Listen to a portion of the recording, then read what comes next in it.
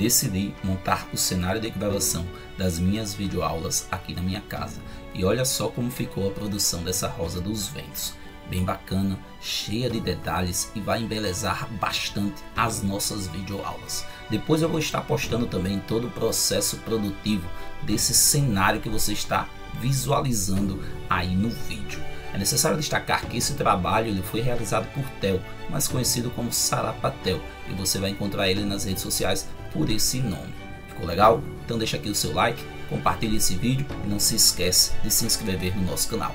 Valeu, Shamihan, tamo junto!